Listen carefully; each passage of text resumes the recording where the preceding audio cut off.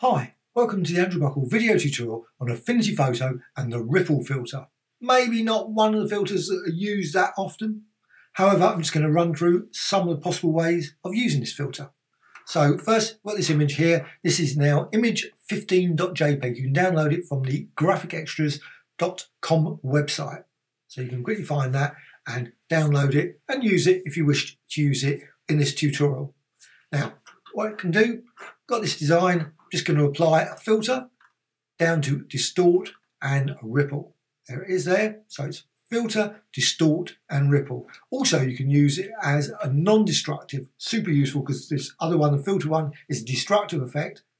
But you can use it as a non-destructive effect, layer, new layer filter layer and distort and ripple.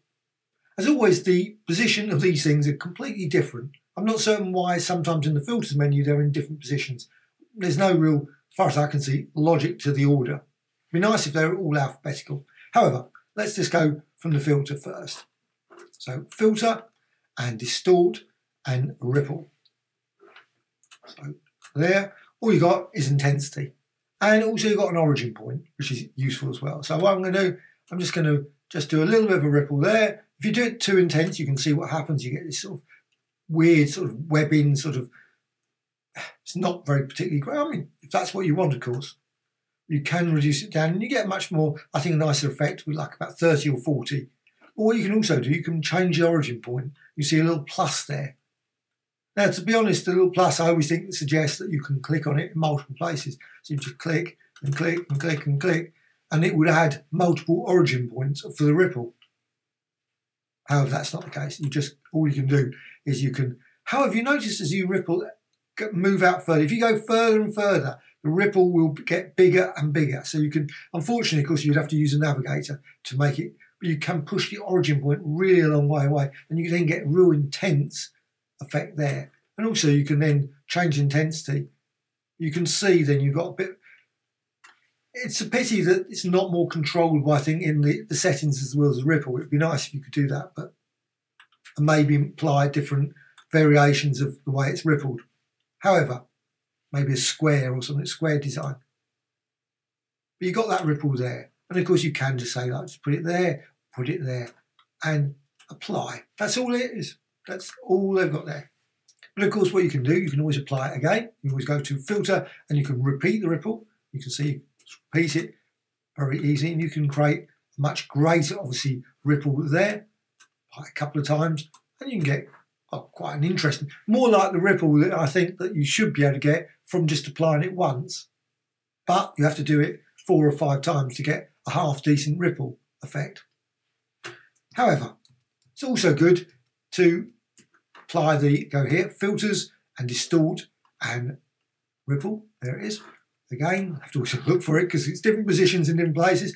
So you think, right, so you can apply it there. And what you can do, you can always go back, filters, distort, and ripple again, and then change the origin. It always starts at zero. It'd be really nice if they made their filters remember what the last value they used. You know, if it was like 30, it should be 30. You should be able to default it to 30.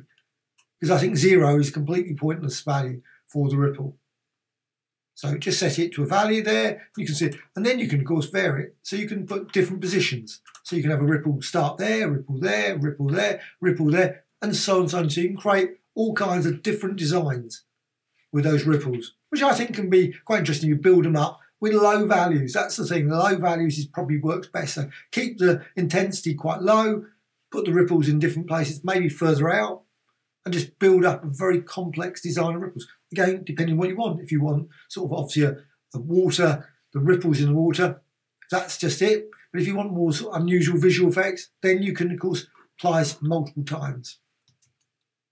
What you can also do, you can always go to, and this I've got layers over here, you can apply on um, layers, so you can always go to layer, and you can duplicate that layer. So there, got a duplicated layer there, and then you can go to filters, and you can go distort, and again to ripple, again a lowish setting, and you can extend out the origin point there, and you can see the effect there. Click apply.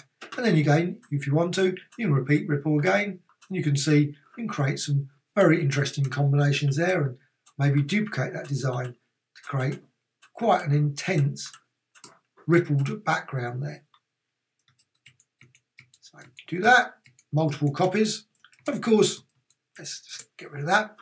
Now, what you can also do, you've got view and studio and you can go to channels there. What you can do, you can select the composite red. So you can select the red channel. So you don't have to use it for also composite red. So you can see only that one's act active. All the others are not active now. So what you do, filters, go down to, hmm, strange, because it should, oh, not the layer. Now filters, distort. So if you're not selecting the layer, it doesn't make a difference. If you've got even the channel, obviously the layer wasn't selected. Anyway, there's only one layer, so I'm not certain why it shouldn't have been selected. But then go to ripple, go to intensity again, and maybe go off, off there, right off that side, click apply, then go to the composite green, go to filters, distort, and you could of course use the same ripple if you want, you don't have to, and then again change intensity, and put it up to a bit more sensible value than zero, and you can then go over the other side, apply. Now you can bring it back straight just by clicking here. So then you can see what you've got. You've got these reds, you've got the greens, and of course, you, if I had done blue as well, you'd have blues mixed in there as well. And you can repeat that multiple times, different angles, different locations to create a very abstract, different ripple design there. So I just put that all back. Everything's all active again. Quite often I end up working, suddenly finding the red one kicks in again. So there's a layer, background layer, selected. Well, what you can also do, you can use selections. So you can go over here. I'm just going to use this selection. You can use any selection, of course. Maybe just select it there. And maybe apply if you want. You can modify it. You go to select. You can feather it. So say, again, it always sets it to zero. I always wonder why, because you think you just set it to 10 or 15, whatever you use last. What's the point of feathering with zero? Makes no sense as a default. There apply. So you've got that feathered now. And then what you can do, you can go, go to filters, distort, and again down to ripple. You can see the ripple effect is just applied to that area there. You can see the ripple just outside as well because of the feathering as well. And you can do, of course, all numbers of combinations. You can move the selection, reposition it, and so on and so on. Deselect that. Now, also what you can do, you've got layers. You can always go to, oh, before I go any further, also can use, of course, other shapes and things. So I'm going to go to here to that, the triangle tool, or whatever, rounded rectangle tool, one of them. And you can just quickly create a shape. So a vector shape like that. You can go to filters and again distort and go down to ripple. The ripple there. You can see the ripple there, and you can go obviously the further if you go quite close, it's very very subtle the ripples. You have to go further out.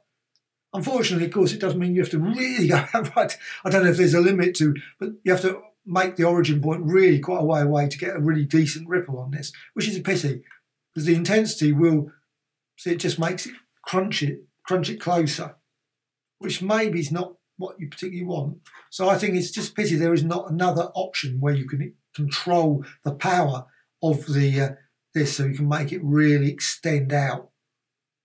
There's a bit of a trouble if you want that, you just can't get that effect. So click apply and you can see, unless you apply it a couple of times, of course. Filter, repeat ripple. You can apply it a couple of times.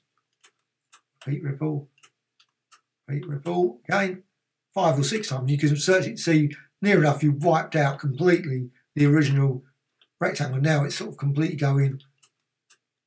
You can see you can create some, like a, obviously for your hair, something like that anyway, or someone's hair anyway.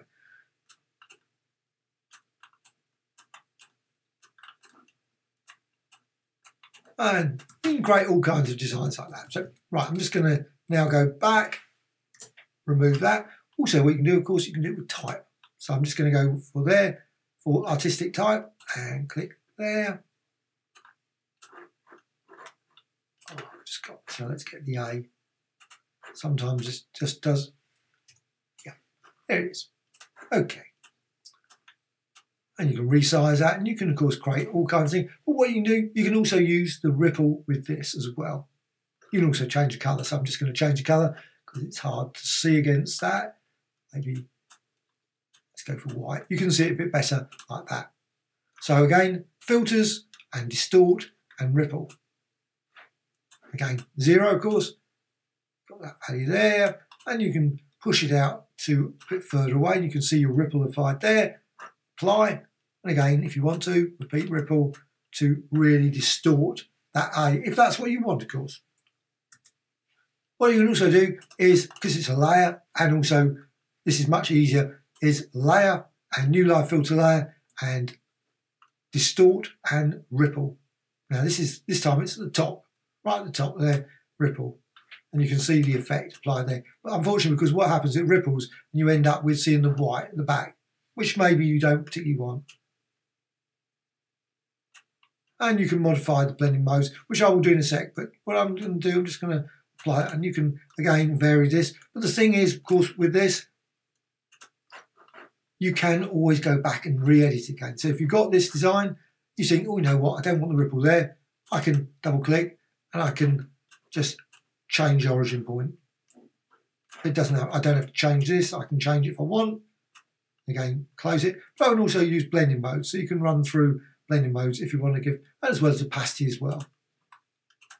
But however, you can also, I'm just going to, let's go to that. I'm just going to go layer and duplicate. So you can see it's duplicated. And now what I can do, I'm just going to get rid of that one. Delete.